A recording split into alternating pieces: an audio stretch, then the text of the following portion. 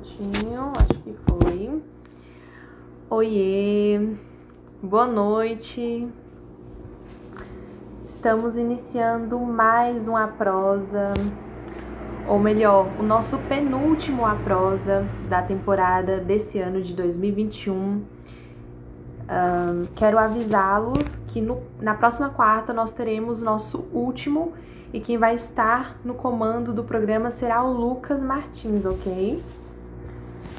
E bom, é, nós temos o oferecimento da Estácio de Brasília em Taguatinga Sul e o programa Prosa é uma realização da coordenação dos cursos de jornalismo e publicidade e propaganda.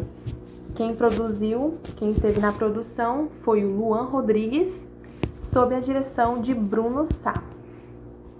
Então, Bom, hoje nós vamos receber aqui o Ângelo Carvalho, ele é jornalista e humorista, e nós iremos falar sobre a indústria do, do podcast. É isso mesmo? Indústria do podcast. Então, o mercado inovador que está surgindo aí, cada vez, tá, é, cada vez mais está.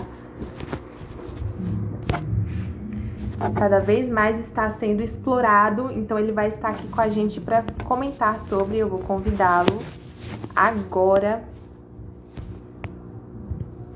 para a gente iniciar o nosso bate-papo.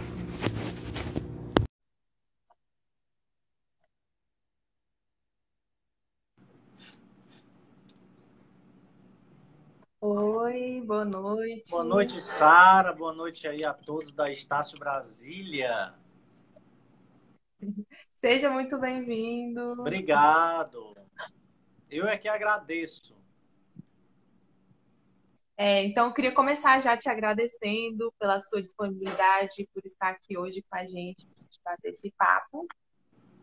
E, para quem não te conhece, eu vou fazer uma breve descrição sobre você. Vamos lá. Até com uma, uma colinha aqui. É tem que ter, tem que ter. É, a gente recebendo. Oi? Tem sempre que ter uma colinha. É, sempre. É, nós estamos recebendo aqui hoje o Ângelo Carvalho. Como eu falei, ele é jornalista formado em comunicação social pela Faculdade Santo Agostinho e com em Teresina, Piauí. Ele ficou popularmente conhecido como repórter engravatado e atuou na rede Meio Norte de Comunicação e em seu canal do YouTube.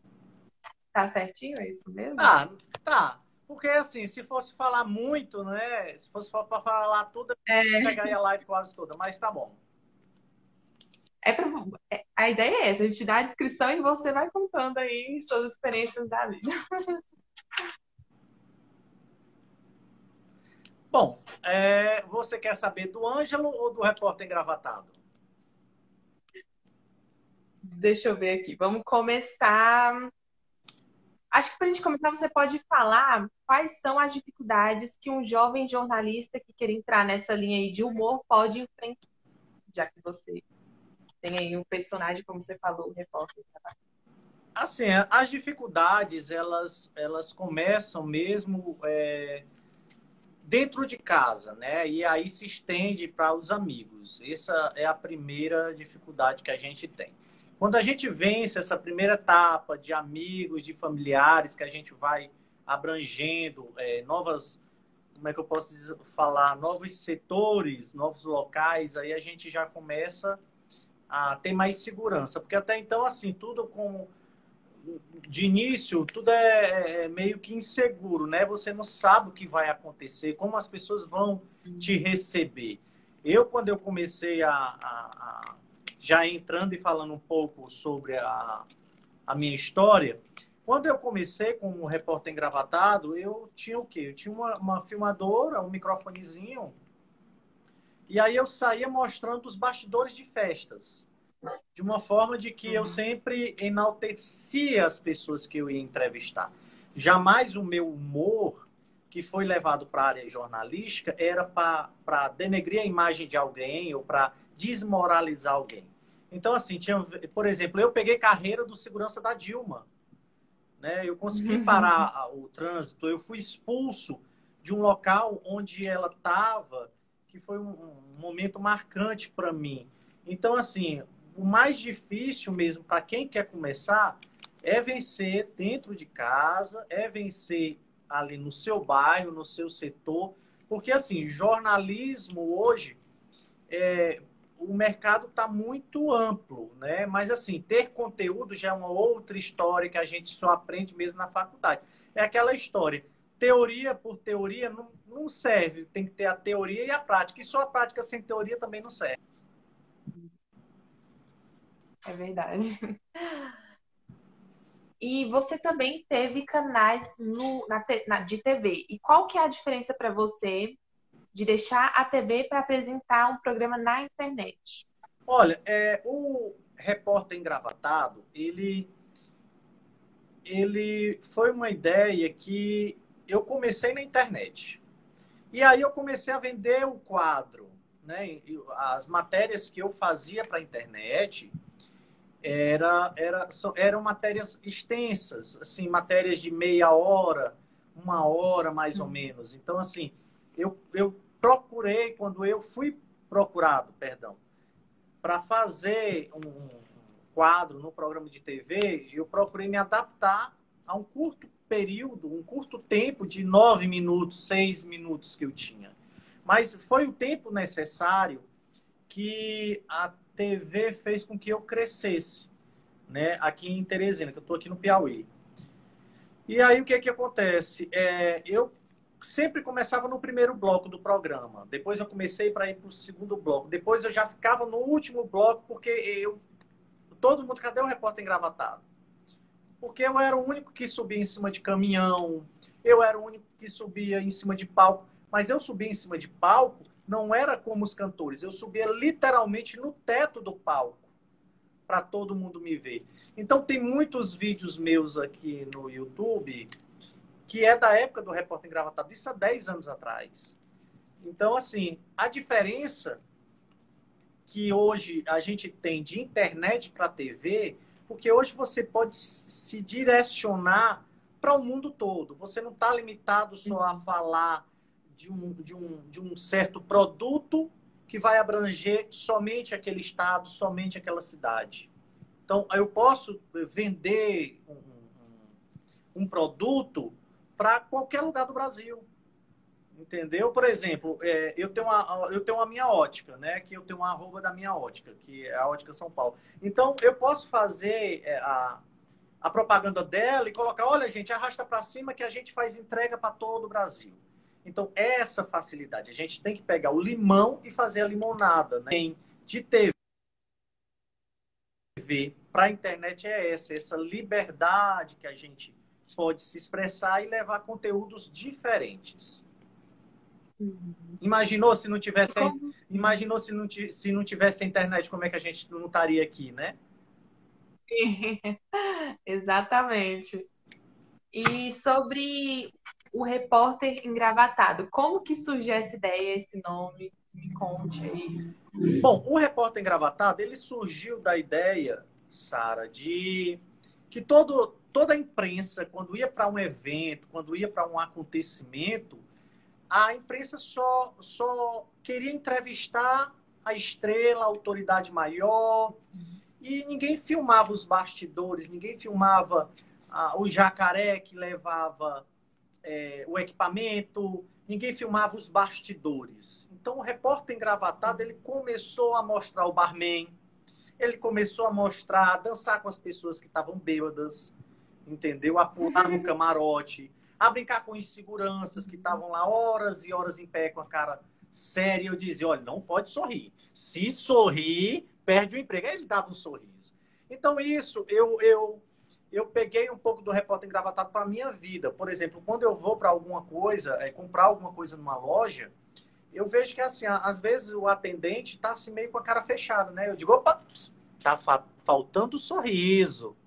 Aí, quando a pessoa dá um sorriso igual que você deu, eu digo, pronto, agora eu faço o pagamento. Entendeu? Então, assim, é, é, é, eu consegui chegar próximo de muitas celebridades, de muito de muitos cantores dessa maneira, conquistando a produção, valorizando eles. E depois eu chegava lá. Enquanto toda a imprensa estava lá em cima. Eu vou citar aqui um exemplo do Mano Walter. Mano Walter teve em, em, aqui no litoral do Piauí e a esposa dele foi com ele, antes de casar, claro. E aí o que é que acontece? Ninguém tirou uma foto dela. Eu não me recordo agora o nome dela, mas é Miss Santa Catarina, linda, inclusive a foto dela tá comigo. Ninguém entrevistou ela. Ninguém entrevistou. Aí o Serginho, que é produtor dela, eu disse, Serginho, aí eu, eu tenho uma. Você, assim, você tem que ter humildade para conversar com as pessoas. Você que é jornalista, não vá chegando querendo o tal, não. Seja humilde, tire uma brincadeira de bom gosto, observe a, a, a produção antes, né? Aí eu, eu cheguei, eu observei assim o Serginho, que, era, que é o produtor do Mano Walter. Eu disse, Serginho, se não fosse você, viu? Não tinha umas roupas engomadas igual a essa. Aí ele deu um sorriso. Aí quando ele deu um sorriso, eu digo, opa, conquistei. Eu digo, Serginho, deixa uhum. eu aqui fazer entrevista e tal. Aí o que, que você vai perguntar? Eu digo, tenho toda certeza que ela vai gostar mais dessa entrevista do que qualquer outra. Então, assim, eu conseguia ter, ter essas entradas, né? De, de, de, de, conquistar e de fazer o que os outros não nunca procuraram fazer, né? Que é mostrar, assim, o backstage da, dos eventos, dos acontecimentos. É, exatamente. Inclusive, acho que isso é muito importante, como você falou, esse detalhe, esse diferencial, porque as pessoas hoje em dia não se importam, né? Só querem ali colocar pressão em, nos artistas, nas outras pessoas, para conseguir a informação, né? É assim, o, o, o, jornalista pode ser a pessoa que que, que tá no meio de comunicação, ela tem que ela tem que procurar a se a se espelhar em grandes pessoas. A gente tem sempre que ter uma fonte de inspiração. E eu tenho minha fonte de inspiração no, jornalismo, no jornalismo, que é o Gilvan Barbosa, entendeu? E então assim, ele é um cara que ele, aonde você, aonde você vê ele, ele tem aquela aura que ela, ele fala com todo mundo, a produção dele gosta dele, porque assim, tem pessoas que, quando se formam em jornalismo, estão no meio da comunicação, joga tudo para a produção. Aí, quando não tem o feedback da produção, como ele gostaria, aí ele acha ruim.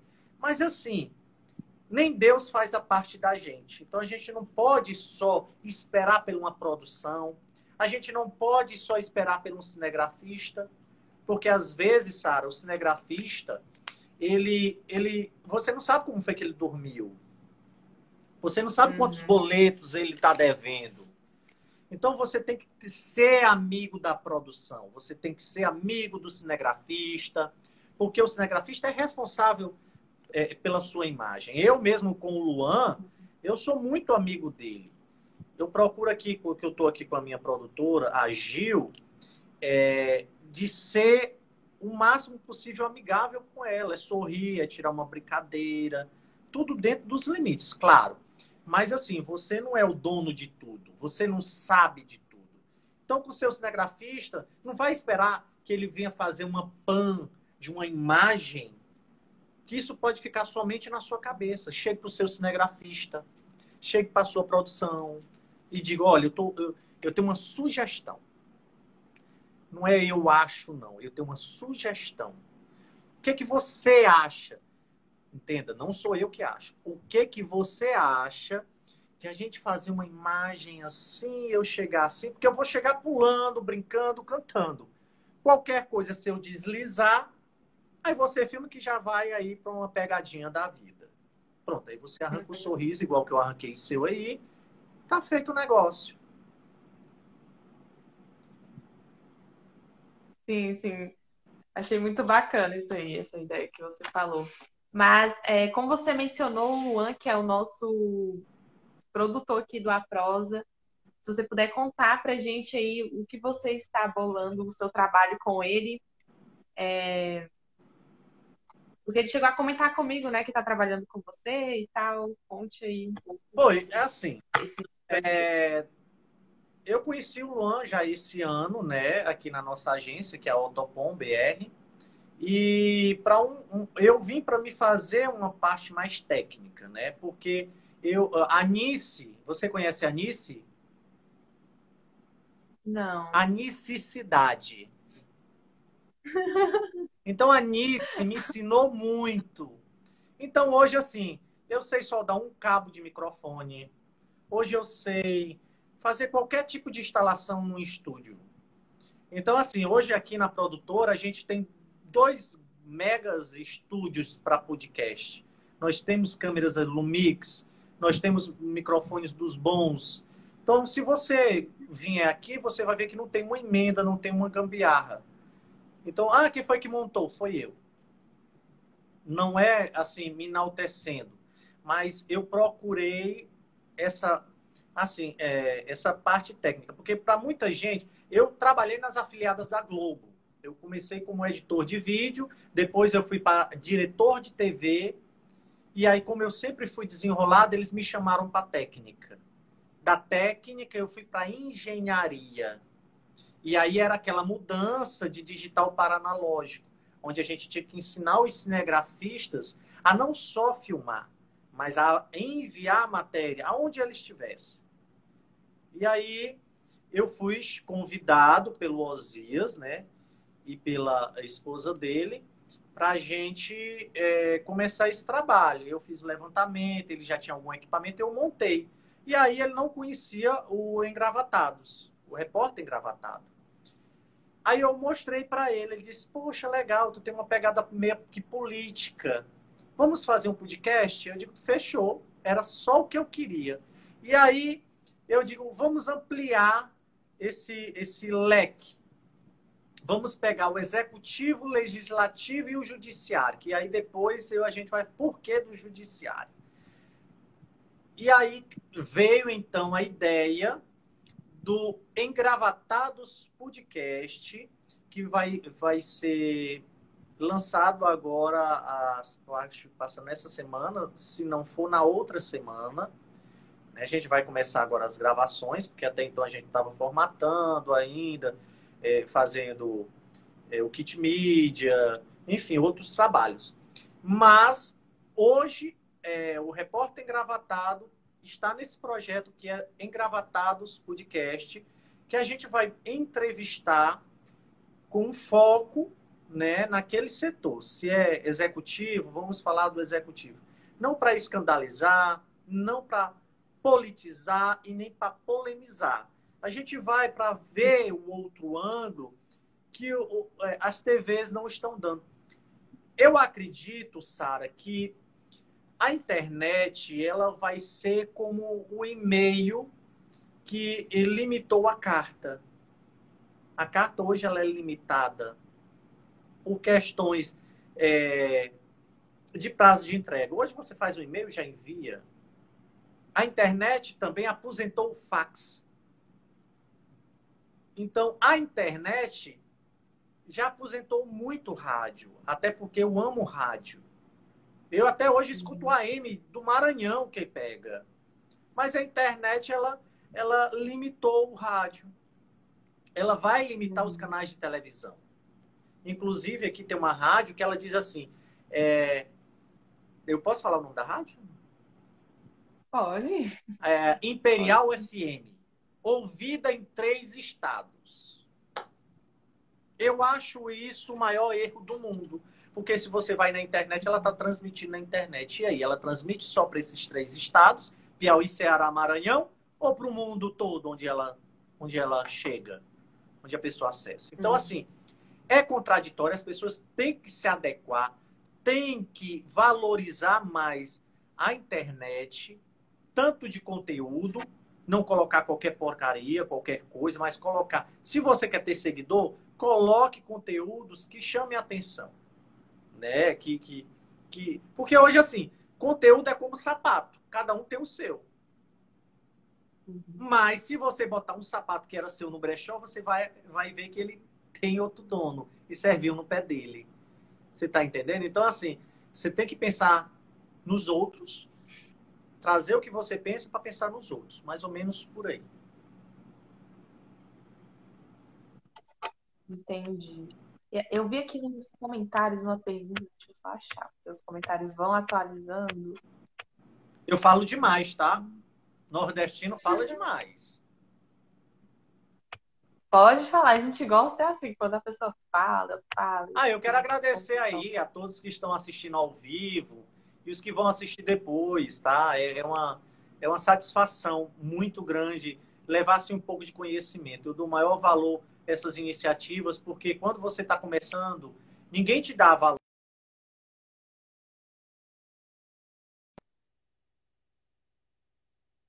inscritos. E aí o Instagram fez o favor de derrubar e eu tive que pegar um outro antigo, antigo meu e, e ativá-lo, né? Então, se você entrar no meu Instagram, hoje tem poucos seguidores, mas são, são iniciativas como essa da TV Estácio Brasília, que eu quero agradecer a todos os idealizadores, que às vezes eu costumo, Sara, comparar a Xuxa a Xuxa só é Xuxa e só foi Xuxa por causa da Marlene, que quase nunca apareceu atrás da, na frente das câmeras.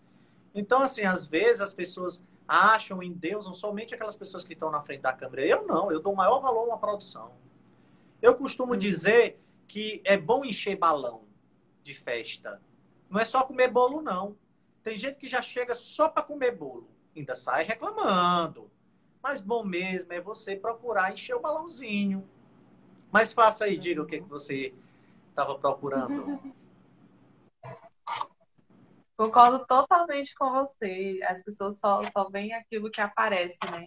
Um exemplo disso é o Luan, que produziu todo esse programa aqui. É, o Luan, ele, ele tem um futuro brilhante, né? Ele, tinha, ele tem acessos, ele tem desenvoltura, ele tem jogo de cintura.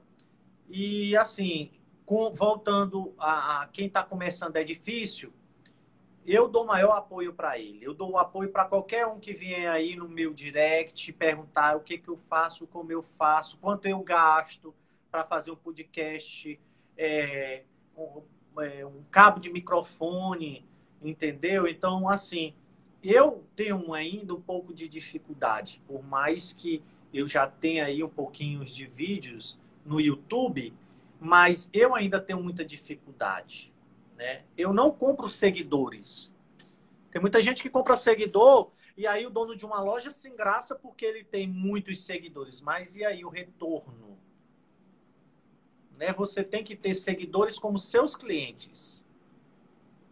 Não é só você. Hum. O que, que adianta você ter muitas roupas no seu guarda-roupa e não ter para onde sair? Não adianta. Não adianta. Você tem que ter um retorno girando constantemente. Senão, nada adianta. E o Luan tem um canal. Qualidade. E o Luan tem um canal agora que vai estrear também aqui na agência, na Autopom BR, que é o Quintura, que é o que é o que eu faço. Aliás, que eu fazia, que agora eu vou estar mais na frente das câmeras, né, do que antes que é os bastidores desses podcasts. A gente tem o Rei Beberes, que é com o estilista Laélio Mesquita, que é conhecido pelas celebridades, pelas suas estampas, que a Alcione veste, a Joelma veste. Ele vestia Gabriel Diniz, né? Aquela, aquele figurino todo de Gabriel Diniz era, era, era Laélio que fazia para ele. Então, assim, ele vai filmar esses bastidores. A gente tem esse estúdio aqui em Teresina, mas a gente tem um estúdio móvel, podemos se dizer assim. A gente monta num hotel e faz as entrevistas no hotel para facilitar. Por exemplo, a gente vai para São Paulo. Então a gente marca uma agenda com, com todos os artistas que a gente pode atender em quatro dias, grava tudo com eles. Então, assim, os nossos podcasts, eles são todos voltados é, a nível nacional. E o e o Luan vai cobrir o cana no canal Quintura esses bastidores.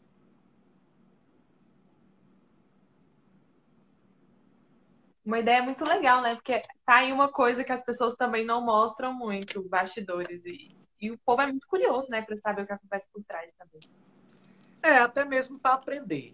Eu acho que uhum. um jornalista, voltando aqui para nossa a nossa pauta de hoje, o jornalista, além de tudo, ele tem que ter coragem e curiosidade. É o Closert Caption, os dois Czinhos no canto da vida, que é da tela. Entendeu? Uhum. É coragem, curiosidade. Ele tem que ser curioso, ele tem que ir atrás. Uhum. Exatamente. Aí eu achei a pergunta aqui, ó, é do Enoque Neto. Ele te perguntou quais são os conteúdos do repórter engravatado. O conteúdo do repórter engravatado, por exemplo, se eu vou entrevistar o presidente da Ordem dos Advogados, eu vou querer saber dele de como é que está é, é, a burocracia para um processo, de como é que está sendo é, a acessibilidade dos advogados, se está sendo respeitada as suas prerrogativas, entendeu? Se está sendo hoje qual é, é a área que está sendo mais procurada, porque aí o estudante de direito vai estar tá assistindo o nosso podcast para estar. Tá, opa! Qual é o índice de aprovação que a OAB está tendo, de desistência? Então, são conteúdos voltados para tanto para os que estão começando naquela área, quanto para os que já estão sendo veteranos aí. E o político tem muita gente que gosta de ser político. E aí ele vai querer saber do político que ele vota. Quais são os projetos que ele tem? Por que, que o projeto que ele, que, ele, que ele jogou ou que ele colocou na Câmara não foi aprovado? Eu digo, quem foi que não aprovou o seu projeto e o porquê? Você está entendendo? Então, assim, é investigativo, é interessante, é aonde a gente vai poder falar aquilo que o povo quer. Porque eu não vou fazer perguntas como um, um jornalista, eu vou ser um intermediador de pessoas comuns, que têm curiosidade. Uhum. Entendeu? Eu não vou chegar para ele fazendo uma pergunta difícil, com um linguajar é, totalmente difícil, porque aí quem vai estar tá me assistindo talvez não vai saber. Mas eu vou aguçar a curiosidade das pessoas para estar tá cada vez mais assistindo e procurando interagir mais com a gente. Então, o conteúdo ele é voltado para mim saber mais, aprender. É como se fosse um, um curso. É um professor uhum. que vai estar tá ali e eu vou estar tá fazendo a pergunta para ele. Sim, professor. E aí, como é? Como é que faz isso? Como é que a gente faz para chegar? Qual é a dica que você vai ter para me fazer a prova da ordem e ter sucesso? Onde é que os estudantes hoje estão errando? Então, hum. Mais ou menos aí por esse lado que a gente vai vai estar tá abordando.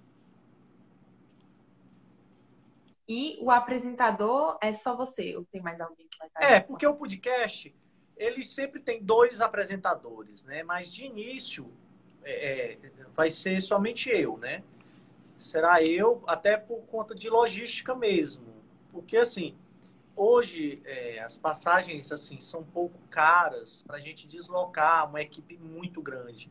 Então, assim, é, se você vê os repórteres da Globo, até porque não mostram os bastidores, mas diga-se de passagem, eu tenho que dizer, hoje o repórter da Globo, que estão em outros países, eles não têm cinegrafistas. Eles simplesmente uhum. fazem pelo, até pelo próprio celular. Eles colocam no tripé, na câmera traseira, não é a câmera frontal. E aí eles veem o ângulo que quer, focou, fica com fone de ouvido e pronto. Ali ele está sendo motorista, ali ele está sendo auxiliar, ali ele está sendo produtor e ali ele está sendo cinegrafista. Então, Sara, uhum. para quem está começando, não vá achar que o mercado de trabalho hoje, em 2021 para frente, vai estar tá sorrindo para você que sabe fazer somente uma coisa. Não. Ah, mas eu sei falar muito bem, eu tenho uma beleza exuberante. Ah, que não sei o quê. Não. Não aprenda a editar, não, para você ver. Não aprenda, não. Fazer um, um textozinho para ver se você aguenta no mercado. Não aprenda, não, a se filmar. Treine. Pegue seu celular, compre um, um tripézinho mesmo, Shang Ling no camelô. Coloque. Igual que eu estou aqui com esse aqui. Coloque, veja um ângulo. Por exemplo, se você vê aqui, eu tenho umas câmeras do estúdio. Mas elas não são uhum. assim. E eu falo. Foi de propósito que eu botei para criar um ambiente legal. E o que foi que eu fiz? Acionei minha câmera frontal, vi o ângulo, a cadeira, me sentei bacaninho. Eu digo, opa, fiz uma foto, dei o zoom. Opa, a câmera tá torta. Outra câmera. Aí agora eu tô bonita na fita. Então você tem que se virar nos 30 para você aprender muito mais do que você aprende na faculdade. Porque, Sara, é, eu costumo dizer para os meus amigos que a faculdade ela te dá uma teoria, ela te dá um norte, mas você só vai aprender mesmo na prática. Quanto mais você faz, melhor você fica. Quanto mais você dirige um carro, mais bacana você fica. Entendeu? Então, assim, não se limite só ao seu diplominha, não. Porque o seu diploma pega água, ele vai borrar. Entendeu? Um ladrão pode roubar se ele fosse muito seu fã. Então, o que, é que acontece? Aprenda mais coisas. Tem muita coisa que a faculdade não te ensina. E nunca vai te ensinar. Por mais que tu tenha prática. Ah, hoje eu tenho prática aqui de, de externa. Ah, nossa, eu vou fazer uma externa. Dá aqui o microfone. Hoje estamos aqui na Praça X. Pronto, tirei 10. Morre naquilo ali. Nunca mais ela se preocupa de ir para a rua e fazer uma externa. Uhum. Nem em casa, nas festas do aniversário, para dizer, Ei, eu vou botar em prática, olha eu aqui. Adiantou de alguma coisa? Nada. É mais um diploma e aí vai. Vai fazer um concurso? Eu adoro quem faz um concurso. Eu admiro muito quem faz um concurso. Eu, eu não nasci para fazer concurso eu sou muito dinâmico. Entendeu? Aqui eu estou me sentindo em casa nessa produtora, porque aqui todo, todo mundo é dinâmico, todo mundo é constante. Aqui eu não decido nada só e nem faço questão de decidir nada só. Aqui todo mundo se une, todo mundo conversa, que todo mundo brinca. E assim a gente vence na vida. Sim, a gente sempre fala aqui sobre a importância do jornalista ser multimídia, sobre ele estar inteirado de tudo, né? Saber fazer tudo.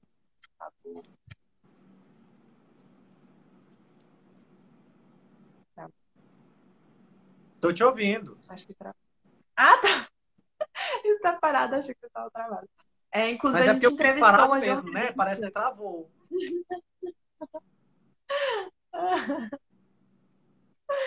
Ai, meu Deus. Pois é.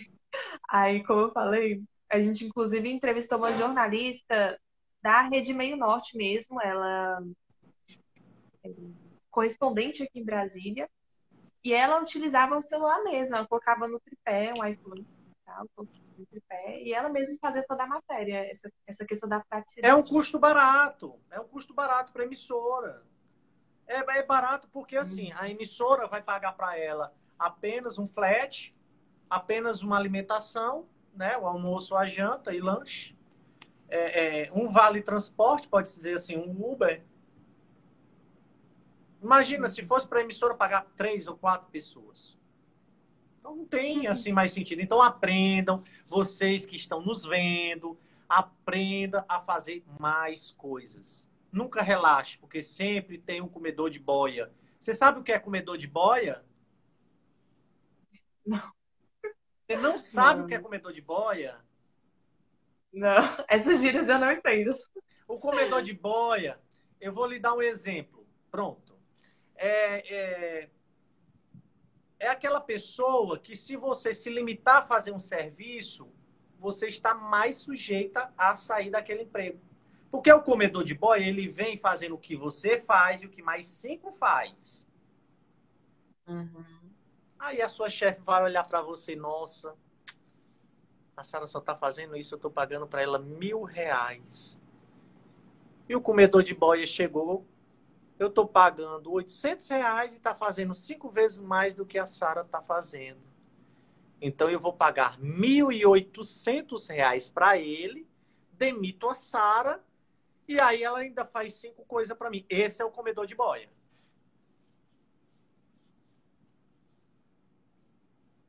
Entendi, agora eu entendi. E é muito comum, né, a gente ver isso mesmo no mercado, de, até no mercado de trabalho comum mesmo. É... Eu costumo dizer, Sara, que eu não tenho concorrente. Porque você poderia me dizer, Sara, agora eu vou lhe fazer uma entrevista. Você poderia me dizer o que é um concorrente para você?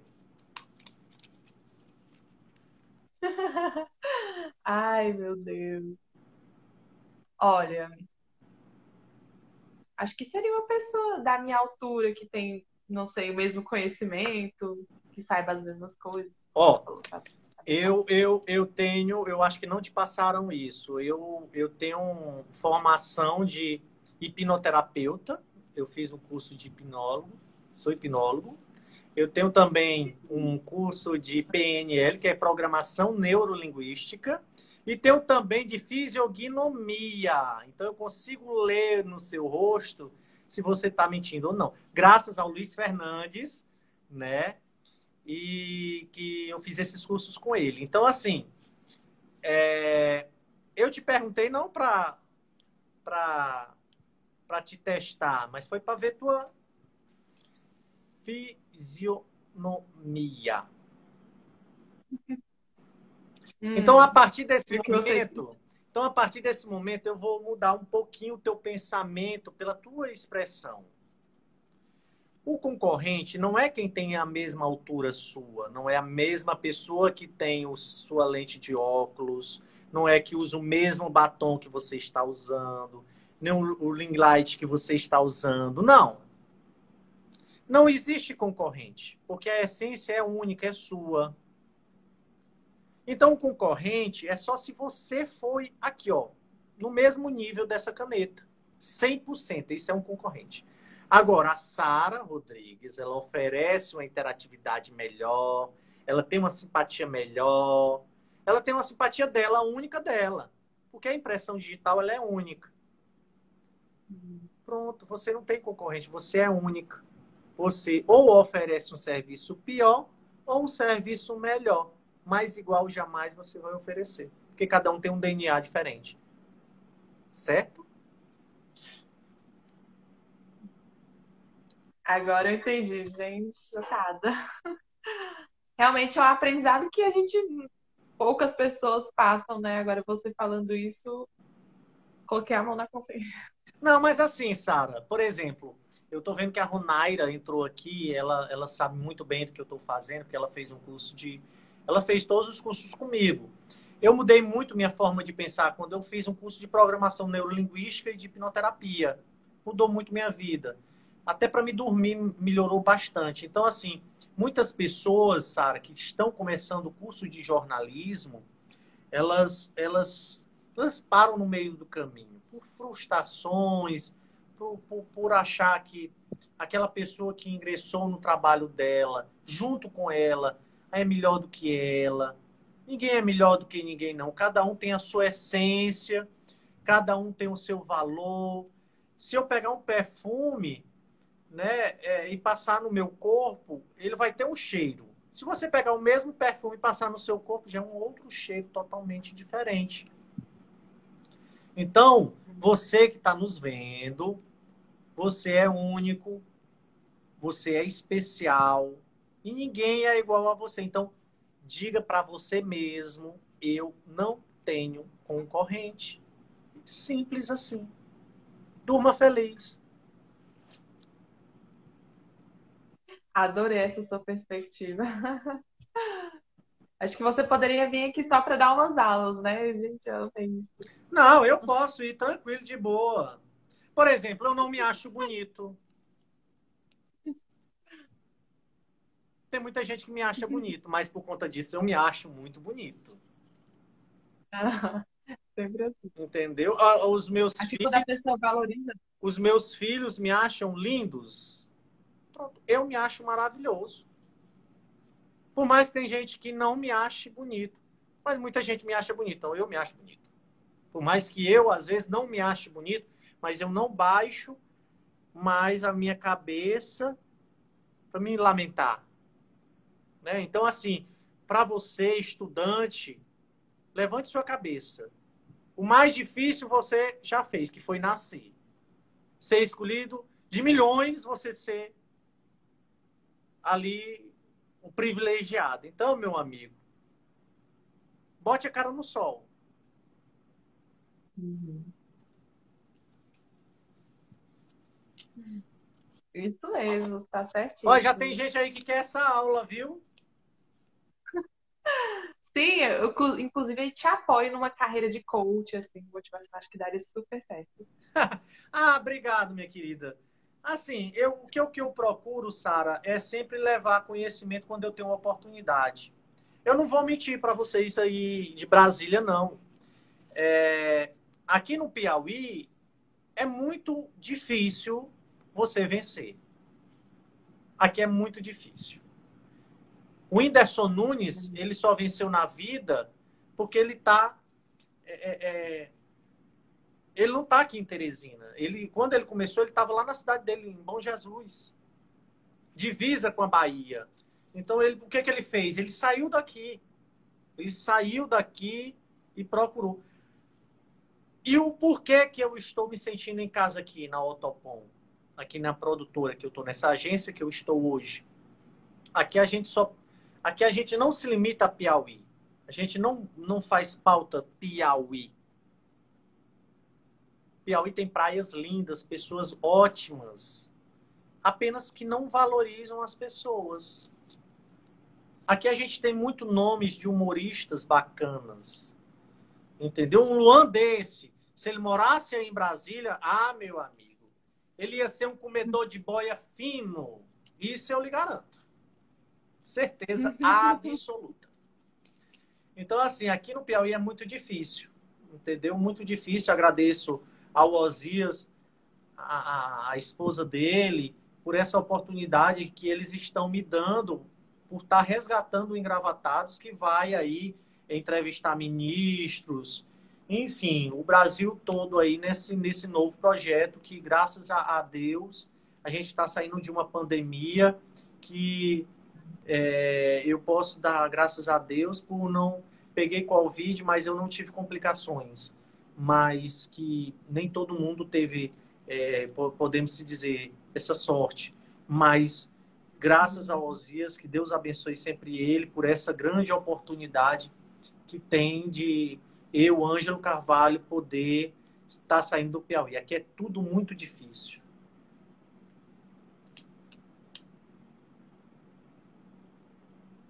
Sim, é, inclusive é isso que, que faz você ter esse diferencial, né? Você pensar lá na frente, não se limitar, como você falou, isso é muito importante.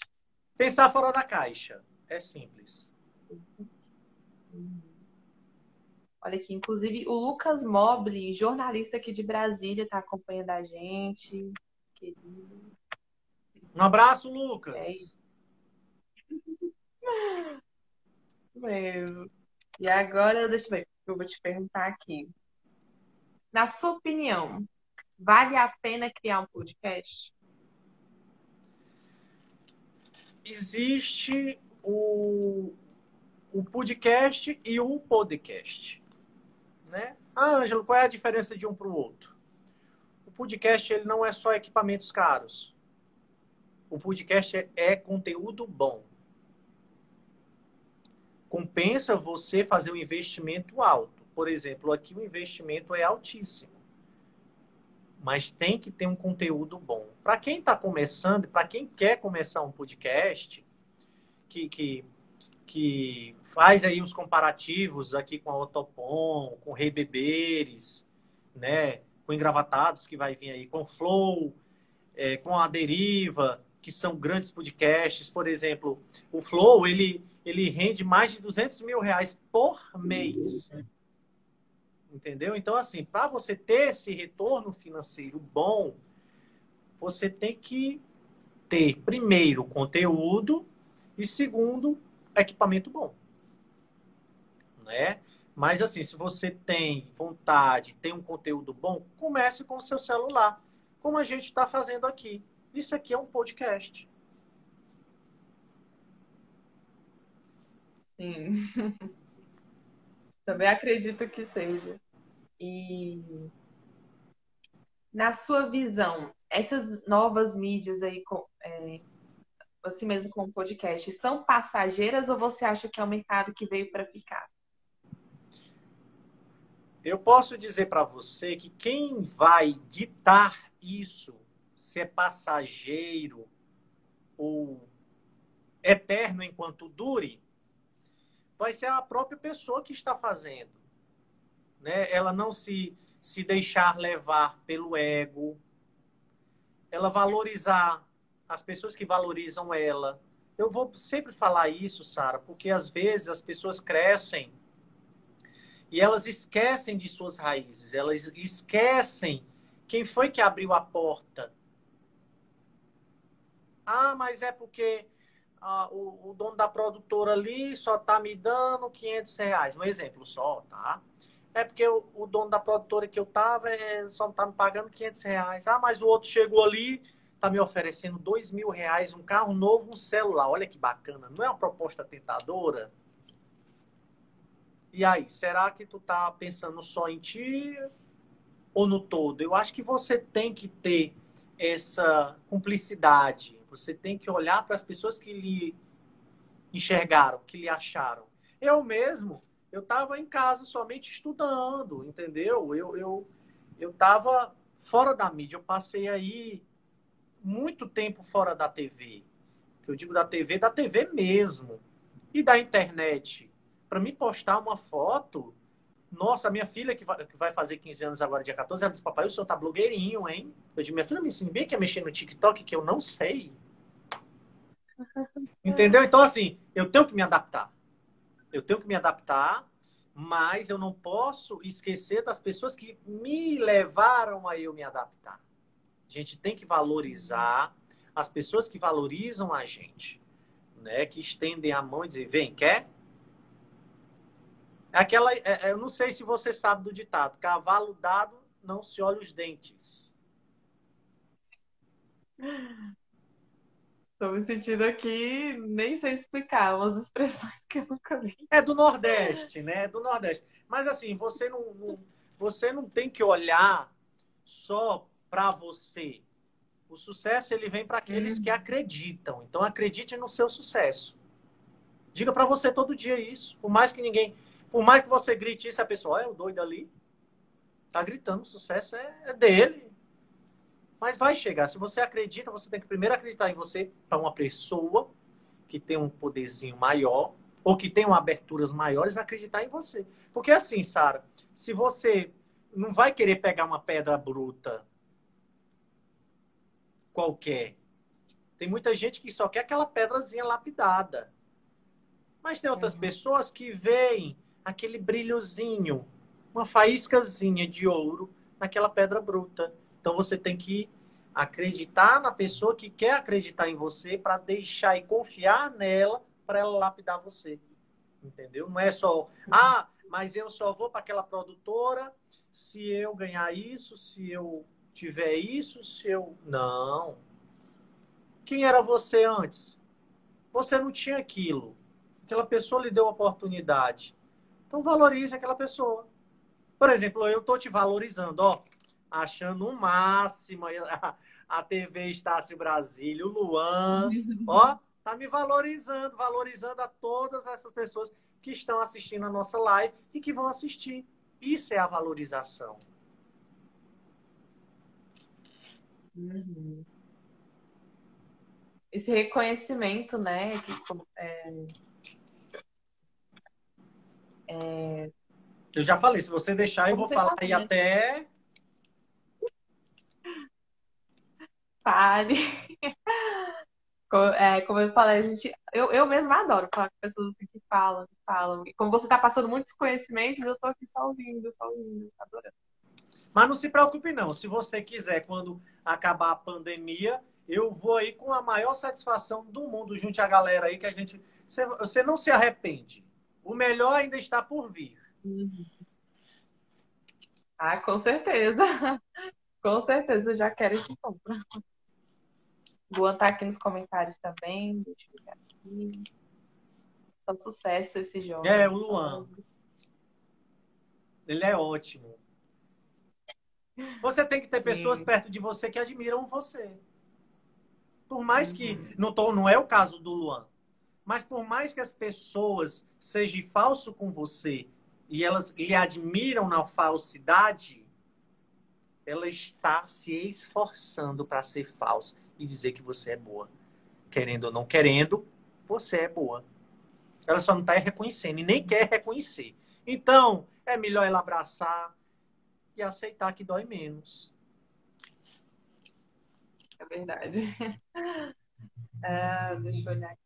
Uma outra pergunta que eu queria te fazer é qual o seu objetivo com o programa e com o podcast engravatado? É, eu vou te dar uma. Eu, eu sempre falo uma ilustraçãozinha que é melhor para as pessoas entenderem.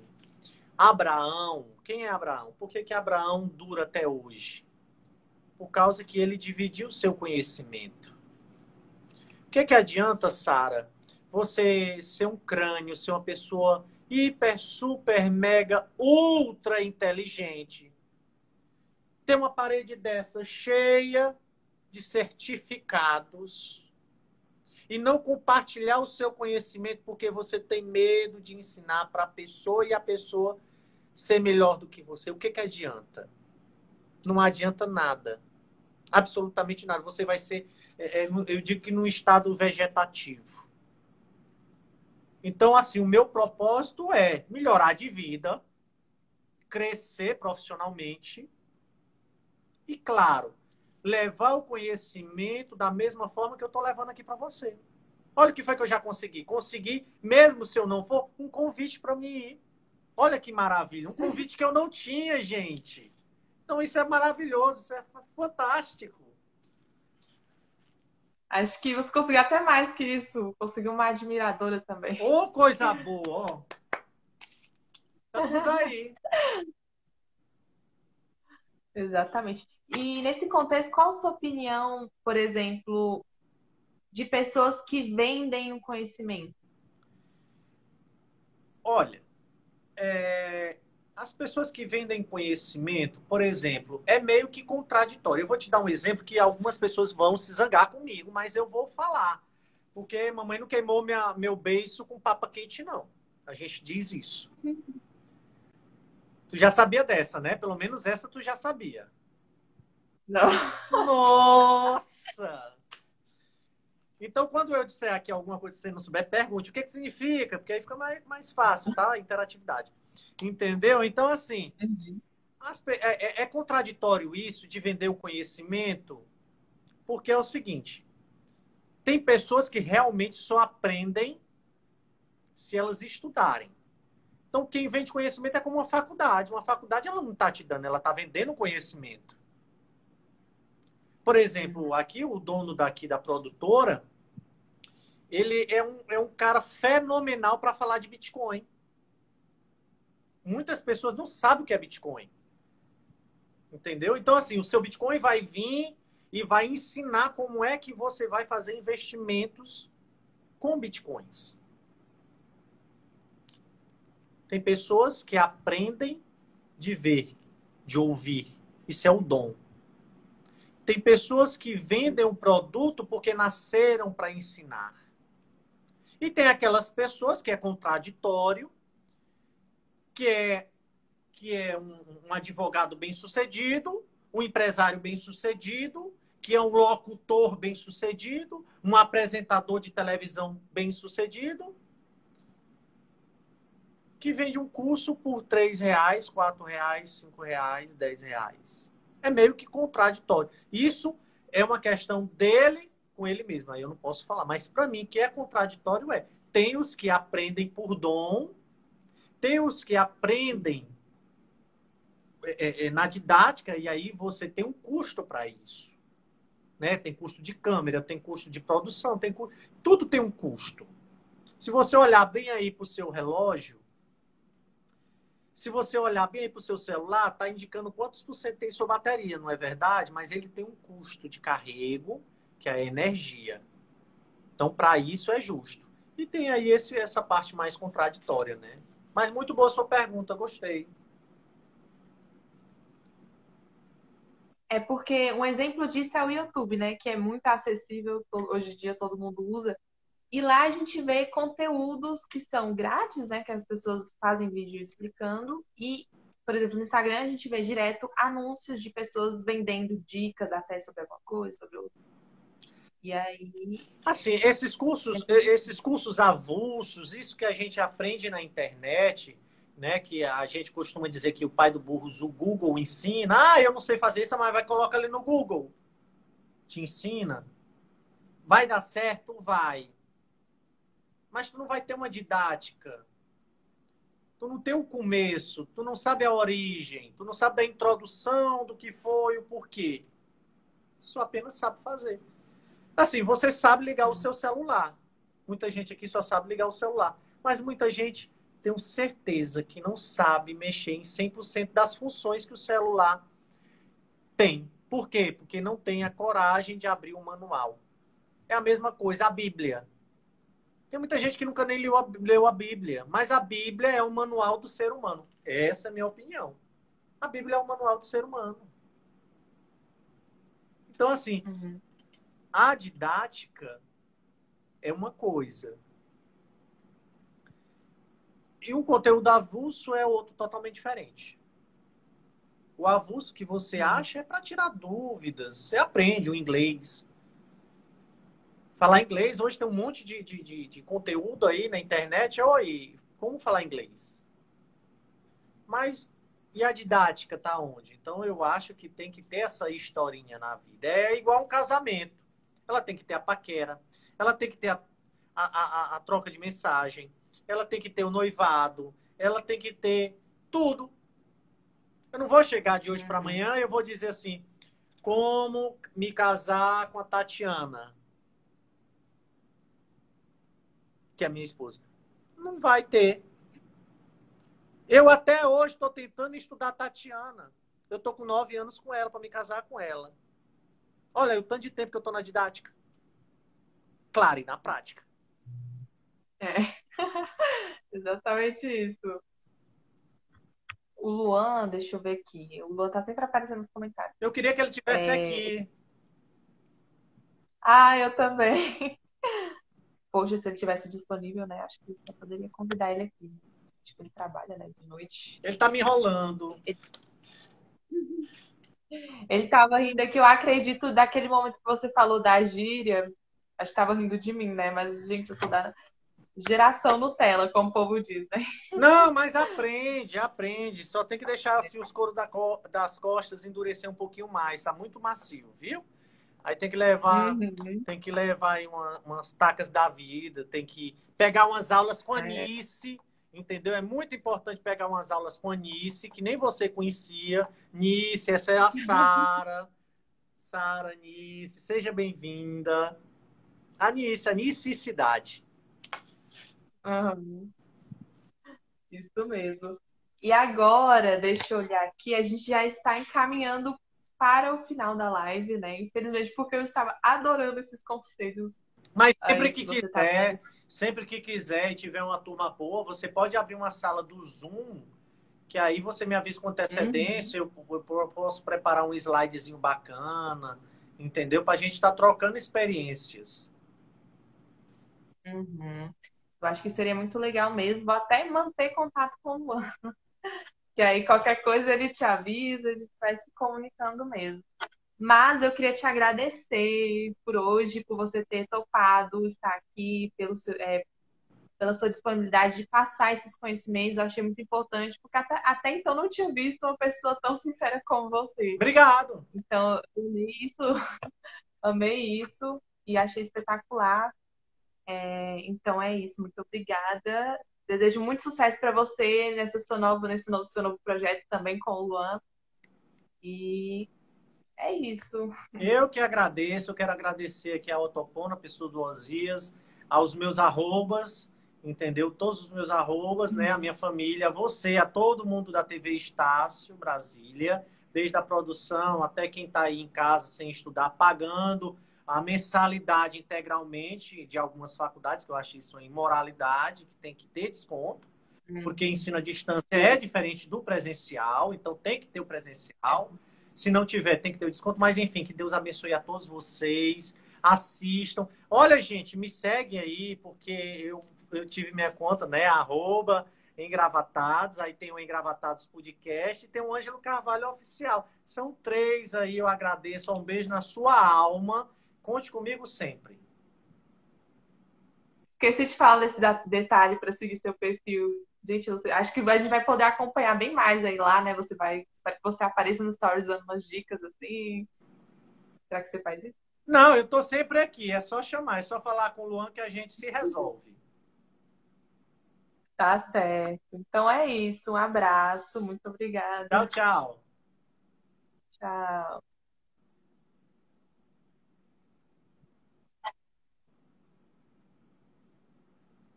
Eu congelei de novo.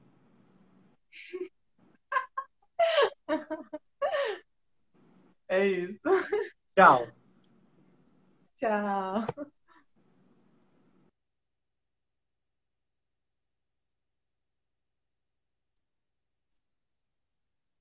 Bom, gente, estamos finalizando mais uma prosa.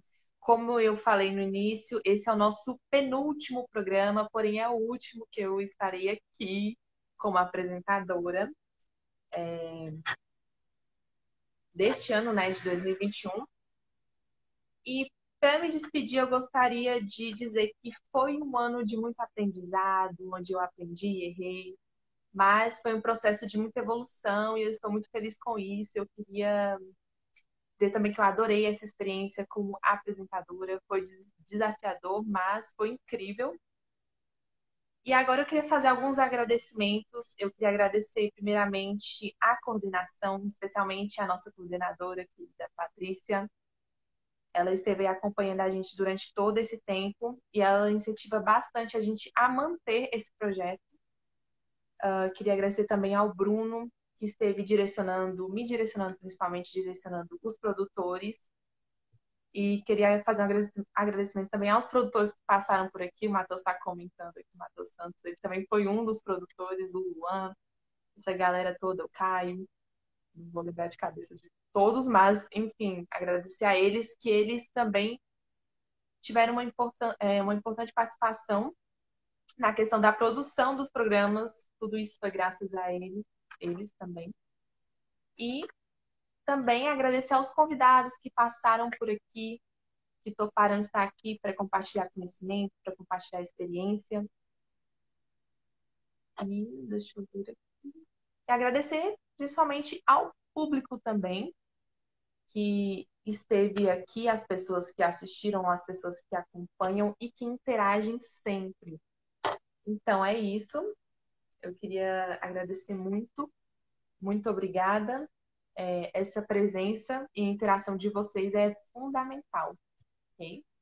E lembrando que, voltando a lembrar vocês, que semana que vem nós teremos oficialmente o nosso último Aprosa de 2021. Quem vai estar aqui comandando será o Lucas Martins.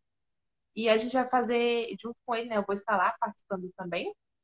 É uma retrospectiva bem legal sobre o que foi o Aprosa este ano, então, é isto, não percam, acompanhem. E bom, eu acho que é isso, né? É, espero que todos vocês tenham gostado. A gente se vê aí na próxima quarta. Um beijo grande e bom final de semana a